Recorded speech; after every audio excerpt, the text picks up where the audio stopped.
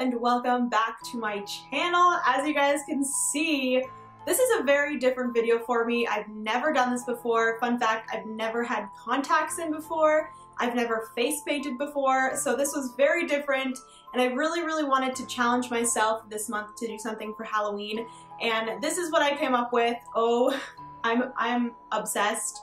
Um, like I told you guys in my last video, I might be doing a costume with my friend, but if we don't do that, this is for sure what I will do. Now that I know kind of what to do, then I think I'm good to do this for Halloween if it comes down to it. But anyways, we're going to get right into this video. Okay guys, so starting with the contact that I'm wearing, this is just a white or zombie contact for the skull side, and then the other side I'm just keeping my normal eye color because this is going to be the normal human being side. So starting the makeup, I'm just putting on my everyday primer. This is the Hourglass Mineral Veil Primer, and I'm just rubbing that in. Moving on to foundation, we are using my current favorite foundation. It is the Fenty Beauty Foundation.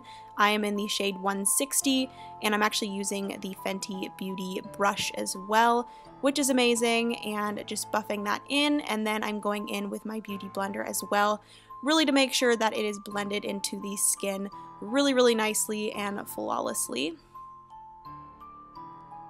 And then going in with my under eye concealer, this is the Urban Decay Naked Concealer. This is the lightest shade, and we're also blending that in with the Beauty Blender. And then going in with the Laura Mercier Translucent Setting Powder and setting that with the Beauty Blender as well and we're just going to let that bake while we work on the eyebrows. Using the Anastasia Brow Wiz, I am just brushing through my brows, and then this is in medium brown. I decided to do the brows off camera just because it's really hard to do the brows off camera, so bam, brow. Next up, we're just sweeping off the baking powder and then moving on to bronzer, which is the Hoola Benefit Bronzer using a big fluffy brush and just bronzing my contour area as well as my forehead. And then moving on to blush, we're just using a really natural blush. I wanted this side of my face to be very, very natural, so I used Coralista. This is honestly my favorite blush, and it's pretty much what I use every day. And then moving on to the Anastasia and Nicole Guerrero highlighting palette using the white shade to highlight. I really wanted to mimic the white of the skull on the other side, so I did that. And then moving on to the eyeshadow, we're using the Naked Smoky palette and using two of the medium gray shades in the palette to just put that in our crease and really blend that out. And then going in with a darker, almost black shade, we're just putting this on our outer V and directly in our crease and just bringing that in slowly. The thing with this eye is I really wanted it to look very smoky, but not too crazy, so I really made sure to blend out everything. I put some of the same black that I just put in my crease on my lower lash line, and then just took an empty or clean brush, an empty brush, and I just made sure to blend that out a lot. So moving on to the highlighting of the eye look, I just took the lightest, more shimmery shade in the palette, put that on my brow bone, as well as my lid, and then moved on to the liquid liner, which I'm just doing my everyday wing. This is using the Kat Von D liquid liner in Trooper. It's probably the best, and if you want to see a more in-depth tutorial on this, then definitely go check out my other tutorials, but it's pretty straightforward. And then moving on to lashes, I'm using a very well-known lash. This is the Ardell Demi Wispies. Again, wanted this to be very natural, so I just took that and glued that there. Next up is mascara and I'm using the Almay. I don't know exactly what it is called, but it's white and pink. You guys will see it. It's new. So that is the finished look on the right side. Moving on to the left side, I'm taking this white pencil here. I got this from Spirit Halloween. I'm pretty sure you can get this anywhere. You could even get this from your drugstore, from any makeup brand. I'm pretty sure every makeup brand has a white pencil and you're just going to sketch in wherever you want the white to be. And right now I'm kind of making the jawbones and then I'm going on to my nose and sketching out where I want the nose hole to be. And then I started kind of drawing the line down the middle of my face and then bringing it up onto my forehead like so. And then moving on to the paint, I just got these brushes from Amazon and then I also got this from Amazon. It is from the brand Snazaroo and we're taking the white, but I did forget to sketch out the eye hole, so that is what I'm doing here. You want to make this kind of a rounded square a little bit more than just a standard circle and I brought it up just above my brow so the black would cover my brow if that makes sense. So anyways, I finished that up and then we are moving in to filling in all of the space with the white paint and I do recommend, um, I'm thinking my primer underneath kind of messed with the paint because it did end up cracking. I don't know if it was that or if it's just the paint. I'm not 100% sure. I did put two layers of this white paint on and I did cover up that temple area that I kind of sketched out there and ended up putting it in after. The really nice thing about these paints is once they are dry, you can go over with any other colors and that sort of thing. Just make sure they are completely dry before you do that. I decided to do the white first because I thought it would be easier to put black over white, obviously. So I am just filling in all of the space and then we are moving on to the black paint.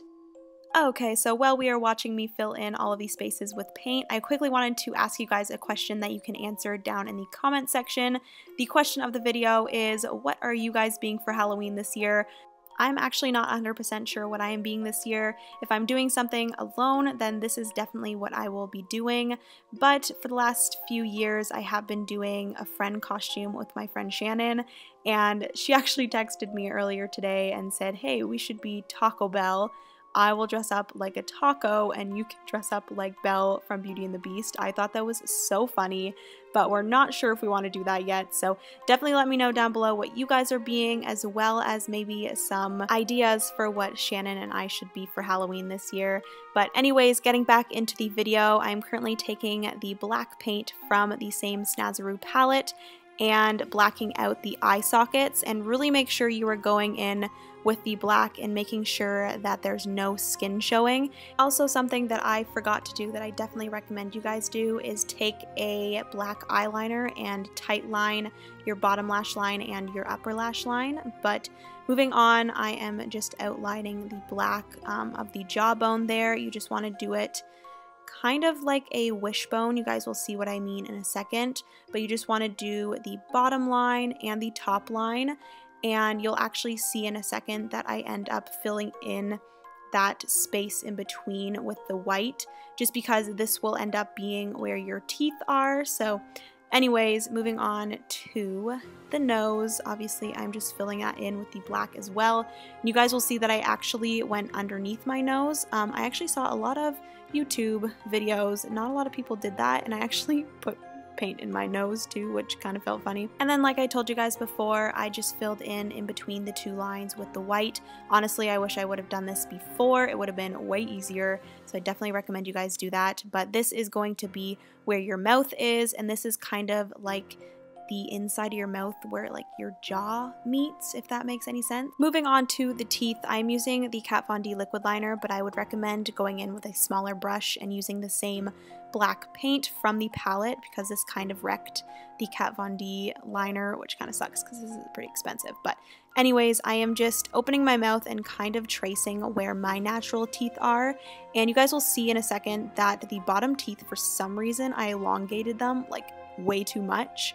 You want the teeth to be slightly elongated, but not as much as I did because you want them to kind of look like they're going down into a socket. So speaking of that, now that I am finished doing the vertical lines, I'm just going in and doing little V's to kind of round the teeth to make them look like they're going up into the socket like I just mentioned.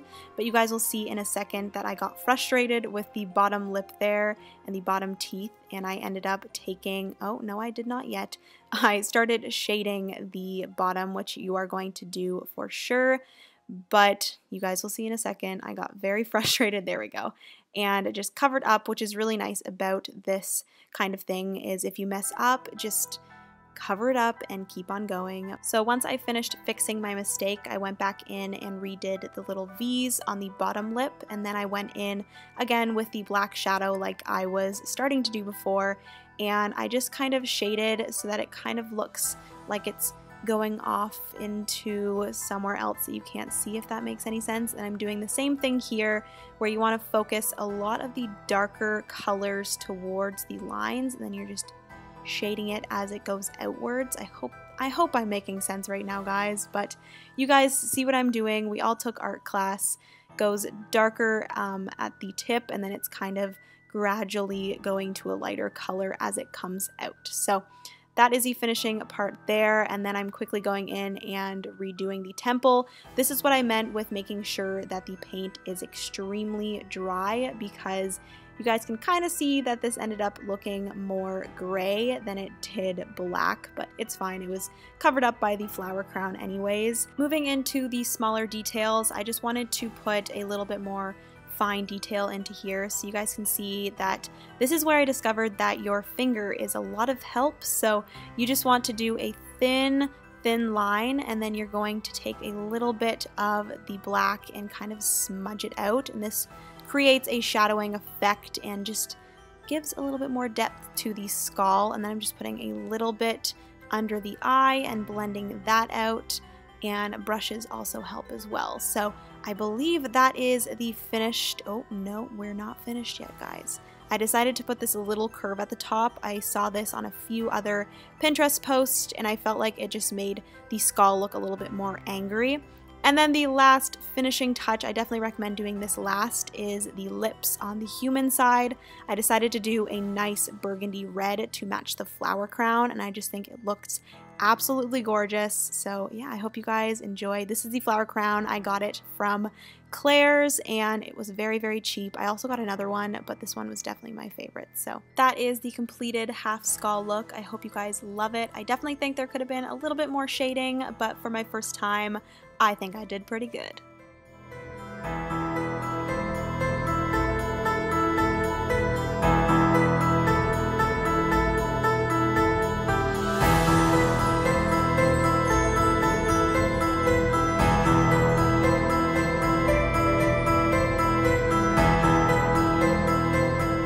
Okay guys, so that was the video. I hope you enjoyed and I hope that I did this kind of Halloween makeup tutorial okay. Like I told you guys, this was my first time doing this, and it's really hard to concentrate on what you're doing as well as making sure that you're in frame and in focus and all of that stuff. So um, this did take me a good three hours, um, so I'm very happy I'm finished. I'm probably going to just go and clean this off. I really wanted to go somewhere like public to like a drive-through or something. I think that'd be so funny. Maybe I'll still do that.